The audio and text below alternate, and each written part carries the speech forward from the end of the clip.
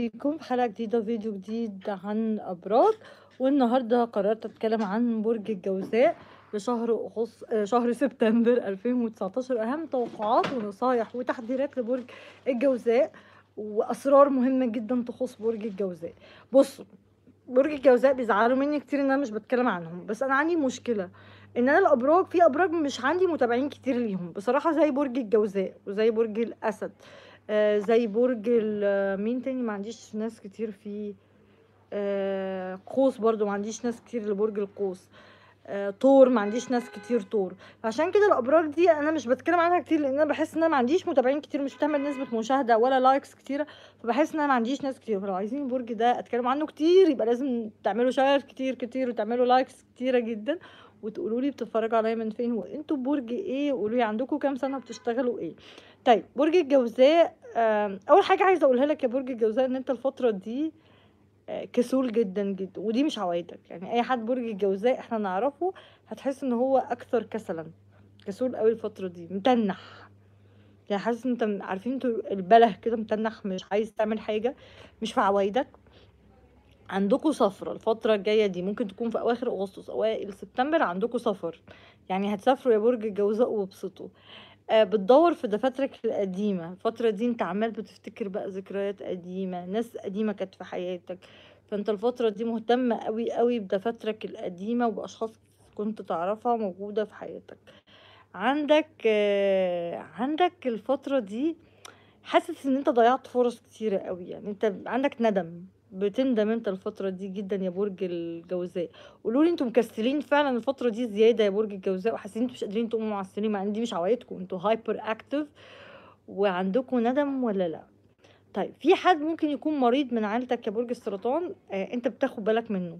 يعني شخص ممكن يكون قريبك درجة أولى وهو تعبان وتعبان جدا الفترة دي وانت قلقان عليه وبتاخد بالك منه.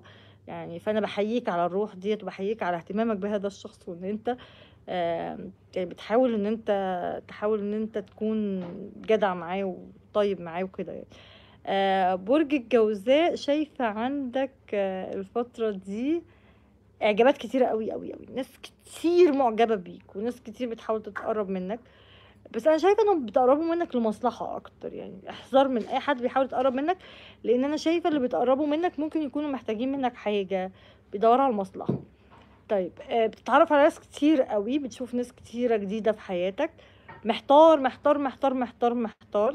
يعني انت هيبقى انت كسول وحيران. أول حاجة إن انت مكسل الفترة دي.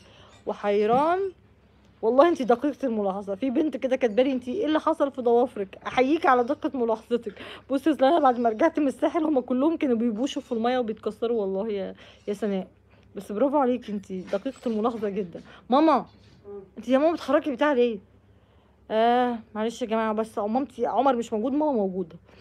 آه طيب برج الجوزاء كمان شايفة الفترة دي إن أنتوا عندكم غيرة من ناس صحابكم يعني في حد صاحبك أو حد حبيب في كومبيتيشن ما بينك وما بين حد؟ كل شوية تقول إيه ده اشمعنى هو عمل كذا وأنا ما بعملش؟ بس أنا شايفاك بتنافس مع نفسك كده. شخص ممكن يكون صديق ليك أو حد من قريبك بس هو أنت دايما بتعتبره ند ليك فلما بيعمل حاجة تقول إيه ده؟ هو عمل كذا؟ لا أنا لازم أعمل زيه. شايفاك بتخرج كتير يا برج الجوزاء برضو يعني أنا شايفه عندك طاقة يعني أنت كسول بس بتخرج يعني أو ممكن تكون مسافر مسافر في مكان بتتعرف فيه على ناس جديدة يعني شايفة ناس كتير كتير جديدة داخلة حياتك. شايفاك يا برج الجوزاء كمان. آه، في حد يا برج الجوزاء الحد ده معجب بيك قوي قوي قوي وأنت مش مديله وش مش مديله اهتمام. ممكن تكون أنت مش بتبادله نفس المشاعر أو بس الشخص ده من برج ترابي. يعني شايفاه جدي عذراء تور الشخص ده بيحبك قوي آه، بيفكر فيك كتير بيعمل معاك تخاطر. وأنت أصلا ولا هنا. هو أصلا الجوزاء مش مركز. يعني آه ممكن تكون انت معجب بشخص الفترة دي بس لسه ما ما اعترفتلهوش. الجوزاء من النوع اللي بيحب يعني انت انت معجب بيه بس انت حاسه معجب بيك فانت خلاص طالما حسيت ان هو معجب بيك lost your challenge. آه ودي نصيحة عايزة أقولها لأي حد بيحب برج الجوزاء أو عايز يرتبط ببرج الجوزاء. اوعى تبين للجوزاء حبك أو إعجابك. لو انت بينت له حبك وإعجابك الموضوع انتهى خلاص. He lost his interest أو she lost his her interest. ما تبينش اطلاقا للجوزاء إعجابك أو حبك أو إن أنت عايزه لأن هو بيحب الحاجة الصعبة بيحب التحدي بيحب ال challenge فأول ما هيحس إن أنت كمان معجب بيها هي- هيهرب على طول هيهرب. هو عنده panic من الارتباط ويعني أنت يا جوزاء للأسف كل الناس خلاص أنت اتفضحت يا برج الجوزاء. كل الناس عارفة إن أنت عندك panic من الارتباط. كل ما تيجي ترتبط آه، بتهرب. كل ما تيجي حد يشوفك إن أنت يعني حد عايز يرتبط بيك تحس لا لا لا أنا مش عايز وه- وههرب لازم أهرب دلوقتي. فأنا شايفة إن أنت بتهرب من الارتباط أو هربت من الارتباط وده ممكن تكون ده سبب ندمك. إن أنت جات لك فرصة ارتباط حلوة جدا وأنت هربت منها أو استهبلت ودلوقتي عمال زعلان بقى لو حاسس إن أنت ندمان. طيب الأبراج اللي هتكون معجبة بيك الفترة الجاية دي أبراج ترابية أبراج هوائية. لأ أنت عندك معجبين كتير قوي على فكرة.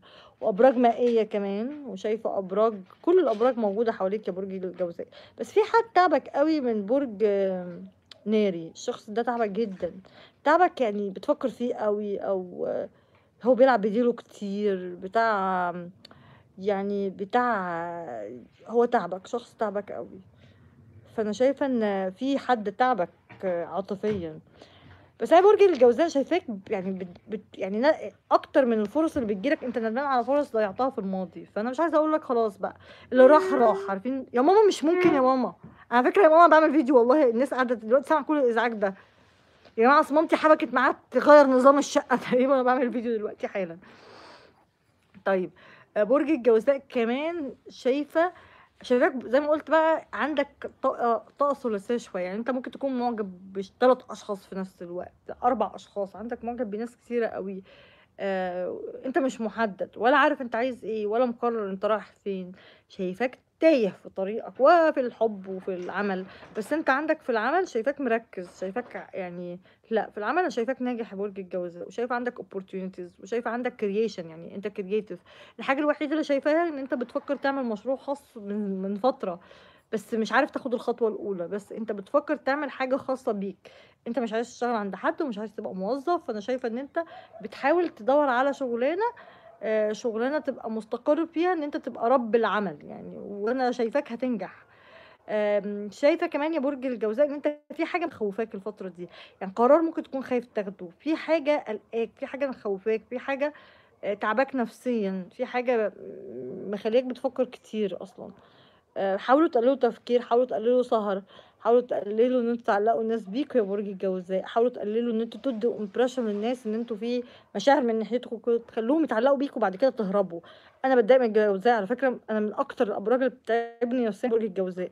علشان ما بقدرش أفهمهم ما بقدرش أعرف هم عايزين إيه لأن هم أصلا مش عارفين هم عايزين إيه. حاولوا تحددوا يا برج الجوزاء مع نفسكم أنتوا عايزين إيه عشان ما تعلقوش ناس بيكوا ما تحققوش ما تخلوش ناس تكرهكم وتزعل منكم لأن هم مش قادرين يوصلوا اللي هم عايزينه ولا عارفين. هم عايزين إيه معاكم ولا أنتوا عارفين فتحس ان أنتوا الاتنين ضايعين. فبليز يا برج الجوزاء يعني اتبعوا النقطة دي. شايفاك يا برج الجوزاء الفترة دي برضو عندك ممكن تكون أزمة مادية أو إن أنت يعني عندك حاجات كتيرة قوي مصاريف كتير جدا جدا أو عايز تسافر أو عايز تعمل حاجات كتيرة وممكن الفلوس اللي عندك على القد يعني. أتمنى لك إن شاء الله إن ربنا يعني يديلك رزق يعني يبارك لكم في رزقكم. آه بشكركم. يلا بقى كلكم قولوا لي تحت. القراءة دي بتتفق معاكم ولا لأ؟ قولوا لي بتتفرجوا عليا من فين؟ وانتوا برج إيه؟ كمان قولوا لي عندكم كام سنة؟ وقولوا لي بتشتغلوا إيه؟ شكرا. باي مع السلامة.